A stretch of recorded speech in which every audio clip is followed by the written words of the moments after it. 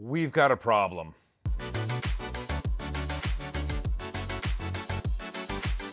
There you are. Welcome back. Uh, it's another edition of Fan Mail Friday, and unfortunately, we've got some interesting circumstances. One, uh, I haven't had dinner yet, and it's really late, so I'm going to try to get through some of this. Two, look at all of this. You guys are wonderful.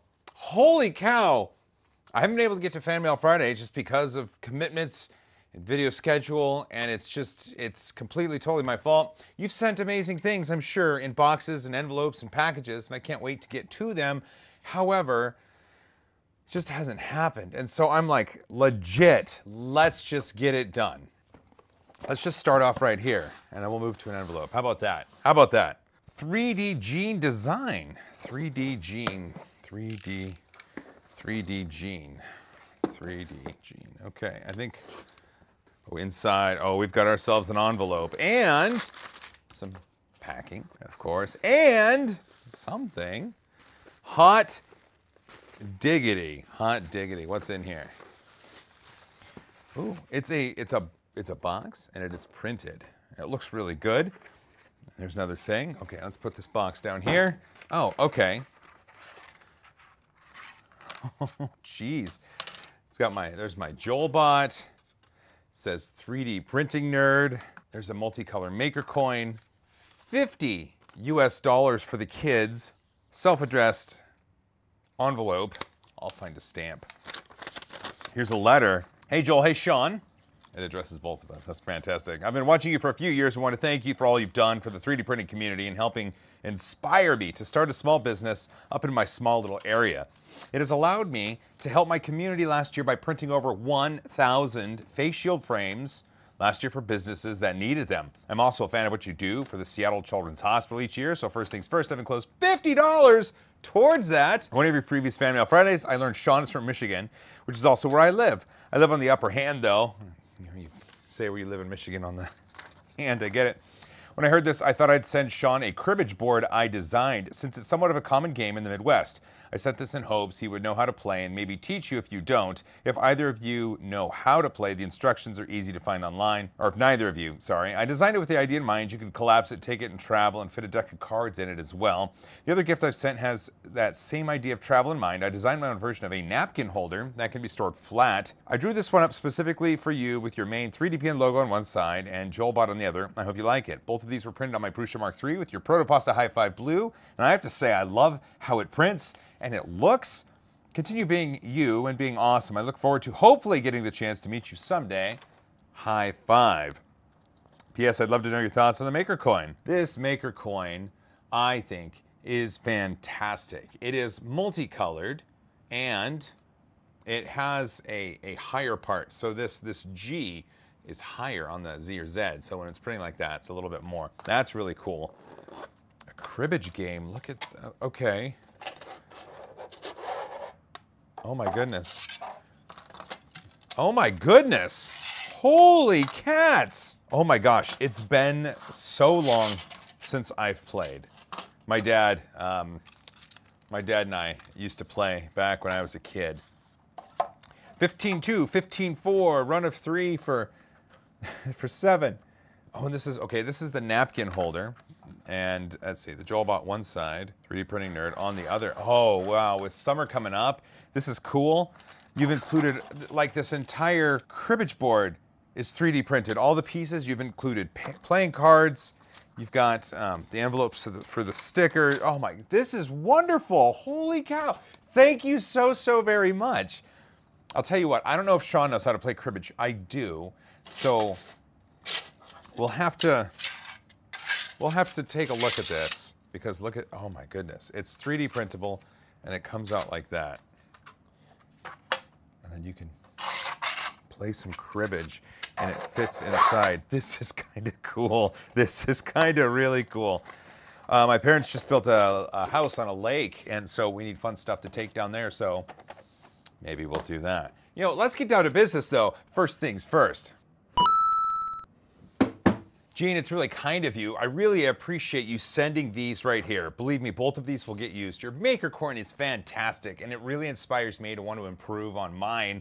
But really, you sent 50 US dollars for the kids. And you know what that means, Gene? Gene, you get stickers. Next, why don't we find ourselves one of these wonderful envelopes? And in fact, I'm going to take this one because it looks like the Postal Service had its way with it. It's got a hole in it. This is from Holden. This is from a person named Holden. I'm just to finish opening the end where the hole is. There's a US $1 bill. It looks like a self addressed stamped envelope. That's fun. A 3D print, and it looks like something to read. Dear Joel, I'm writing to say thank you for getting me into this great community and hobby of 3D printing. You, Angus from Maker's Muse, and Devin from Make Anything inspired me to ask my parents for a 3D printer. After two years of them saying no, I think I finally made them cave as I got an Ender 3 for my 19th birthday. Thank you for all the entertaining and educational content. Included is a singles adapter for a record player to play the smaller 7-inch discs with the large center hole. This also doubles as my maker coin in a way. It's printed on my Ender 3 at 0.2 layer meter, millimeter layer height in Amazon Basics Silk Blue PLA. Thanks, Holden. I think it's funny that uh, a 19 year old is sending me something for a record player. I know it doubles as your maker coin in a way, and honestly, you could probably customize this a little bit more, especially printed on your Ender 3 with that silky blue PLA. You're talking about a record player as a technology that predates you and me, and you're still making prints to adapt it and to make it work. So that's cool, Holden. Thank you for that. You sent a dollar for the kids, you get a self addressed stamped envelope. Let's take care of business. First things first. Holden, you've sent something incredible and it reckons back to the age old days of 45s and 33 and a third and arms and record. It's just it's just cool. It's just really cool. It's I don't know why. I just find that cool, but I challenge you to customize it. And when you customize it, perhaps you can look to this for inspiration. What is this? Well, Holden, this is your sticker. We've done a package, we've done an envelope. Now I think we do a package. And you know what we should do? We should do this. This is 3D Printing Nerd uh, by Airmail par avion. This, this is a shirt. Oh my goodness. Oh, this is wonderful. This is a shirt for for the real the real Sam Prentice. This is from Sam Prentice. Oh my goodness. This is awesome. He's a wonderful creator. I if I remember I'll try to link him in the description. Thank you, Sam. This is awesome. I love it. I'm going to check how much battery we got left. 33 minutes. We have 33 minutes of battery left. So let's just let's just keep going. Okay. Package, letter, package, letter. This is from a Mark out of Olympia, Washington. Neighborhood. Inside we've got a US $5 bill. I also seem to see a self-addressed stamped envelope. I like where this is headed. Goodness, this is folded like crazy. Here we go. Dear 3D printing nerd, my name is Mark Sittler. I live in Olympia, Washington. I like the 3D RC car. It was cool. I put the sticker on my laptop. I like your YouTube channel. Here's a pic of it on my laptop. I want to get into 3D printing. What is the cheapest 3D printer to get? A lot of times people are going to tell you the Ender 3 platform from Creality is going to be the least expensive printer to get that gives you a, a, a bar of quality. However, the Voxelab Aquila uh, I know Chuck Hellebuyck over at Filament Friday and others really like that platform. It's essentially an Ender 3 V2 for $100 less. And so you're looking at an Ender 3 V2, which is probably the best iteration of the Ender 3 right now, but for 100 bucks less. Look up the Voxelab Aquila. In fact, I'll put a link to it. I think you can find on Amazon. I'll put that link in the description. I highly suggest you and anyone else that's interested check it out. Uh, they've reached out to me, so we'll probably get one in here to the shop and do some testing with it. But people I trust have said it's inexpensive and it works well, so I have uh, I'm, I'm comforted in recommending that to you. Well, thanks for this information right here. You do have some things that we need to address, so let's take care of business first things first. Mark, thanks for the note and the question, and I hope that recommendation of the Voxelab Aquila addresses your concerns about the cheapest 3D printer. I hope it finds its way to you. I hope that you get it and you print all the things, and I hope near that printer is something special. I hope it's something excellent, something I'm sending to you. You get stickers. Package, envelope, package, envelope, package, package, package. This is from James. Self addressed, stamped envelope right up top. I'll put that right there. A note to read. And some, it looks like, packaging to keep to keep prints safe. Oh my goodness. Okay. These are customizable can koozies. So inside, oh, and in this one is a $20 bill. Look at that. So you, oh, this is genius. This is friggin' genius. So it's a can koozie, but they screw on and they and they're different sizes. So depending on the size of the caffeinated beverage that you have, you can then adapt it. Look at that. There's the middle piece. This broke a little bit. I'm going to have to get some 3D gloop for that. But Rockstar Recovery, this is my wife's favorite. You just might, you just might have become her favorite person. And inside this one, Shiner Shinerbach.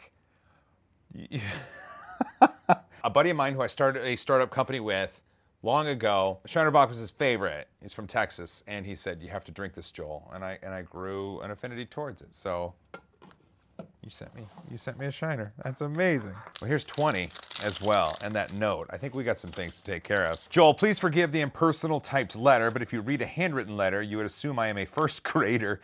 My handwriting hasn't improved over the 50 years, and I'm okay with that. I really enjoy watching the things you get into, and it has inspired me on several occasions to expand my printing horizons. Keep up the good work and accept my donation to the Seattle Children's Hospital. They also do good work, and I have, I have had the opportunity to enjoy the services of my own children's hospital in Columbus, Ohio, several years ago when my daughter was little.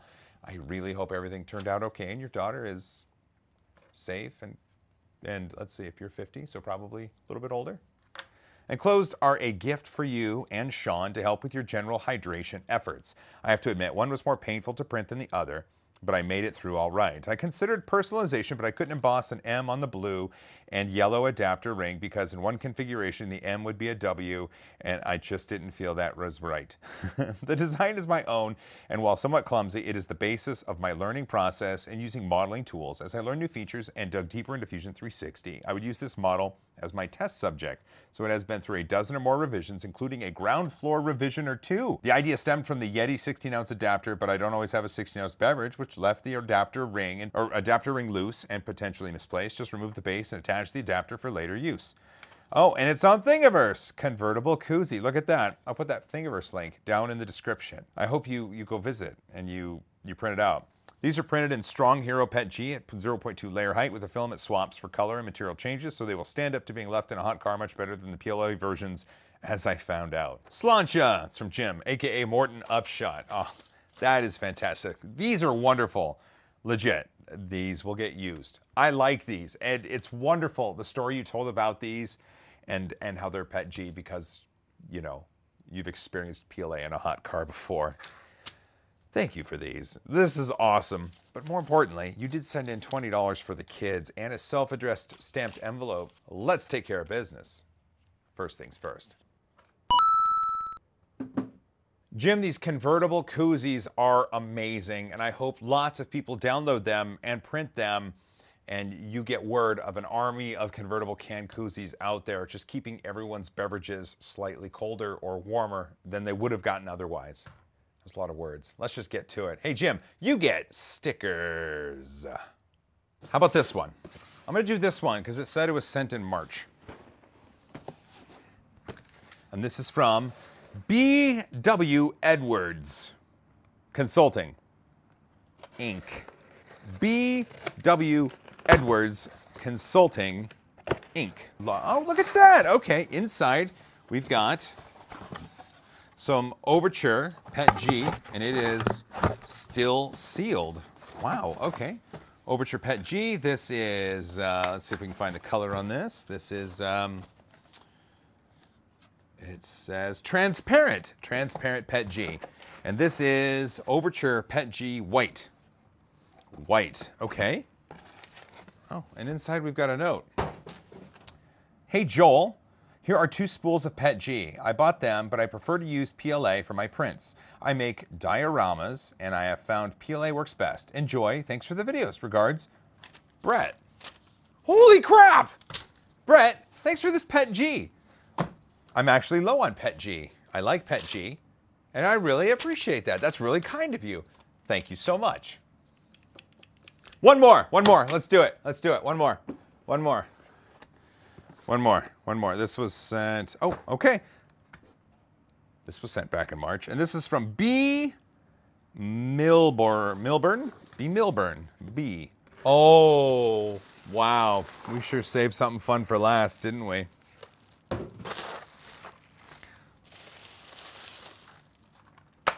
Mm-hmm. Uh-huh.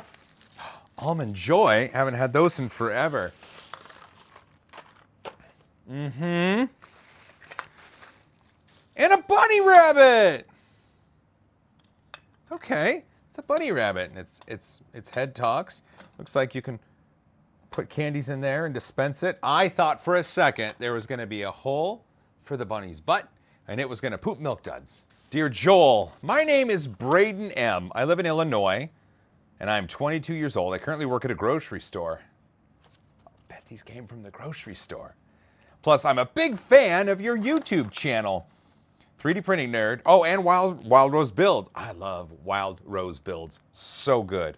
So good. Inside that box I've sent you is a 3D printed bunny that can dispense Cadbury eggs. I've included a pack of them for you so you can load the bunny up with chocolate. Also included with the stickers, could you send me something 3D printed back to my house so that I could have memorabilia of this moment when you opened my package? P.S. I added in a box of Milk Dudes because I know you like them. But unlike Sir Will, these are real. Will, thanks so much. Bra Braden M, Main Street. Shoot, I mean, we gotta try this. We gotta, gotta try this. So the eggs just go in the bunny. Apparently I suck at this, really bad. You take an egg out, an egg comes down. You take an egg out, another one comes down. Oh, I guess you could just go, give me the eggs. Braden, you're wonderful. Braden, I'm at a bit of a crossroads because you sent a box full of wonderful things and also included with the stickers. So you assumed stickers, and typically when people typically when people get the stickers, it's because they send a self-addressed stamped envelope and they also send a little bit of cash for Seattle Children's Hospital. So I'm at a crossroads because, well, here's the thing. I kind of want to send you stickers because you sent some candy. I love candy. So I'll tell you what, got one of these, but you said you wanted something 3D printed. And typically I don't bow to the demands of people I don't know. However, I think it's a unique proposition. So I found this. This is the Flowistic chainmail. This is the sample size. And uh, I think what I'm going to do is this. Braden, thanks for the candy. Thanks for the bunny. I was expecting a bunny that pooped out candy, but a bunny that throws up candy, just as good. Got your address. We've made a deal. We've struck an accord. And Braden, you get a 3D print along with a sticker. Well, with that, I think we're going to have to call it good. I still have plenty more packages to go, plenty more letters to go. Really, though, thanks to everybody for sending something in. It's never required, but if you want to, the address you can is in the description of every video. And listen, like, this is cool. Whether it's candy, prints, money for Seattle Children's Hospital, someone sent me a shiner. like, this is awesome. I really enjoy it, and I'm doing my best to get caught up. And uh, who knows what's in the rest of these? I'm kind of really excited to find out. But thanks again to everybody. If you made it this far, you're awesome. Don't forget to hug each other more. And from a safe distance, high five.